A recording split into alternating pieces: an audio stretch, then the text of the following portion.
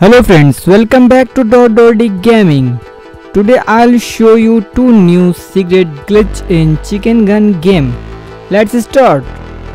Simply follow me and come here and go out of the wall. You can see everything is disappear in Chalo House map.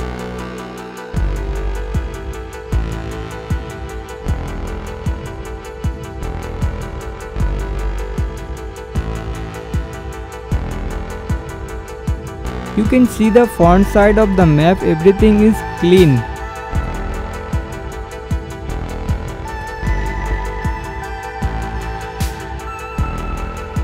Let's see another glitch. Come here and jump. Then you can see the bottom of the map. Then you can see there was a toilet or something. I don't know but this is a glitch.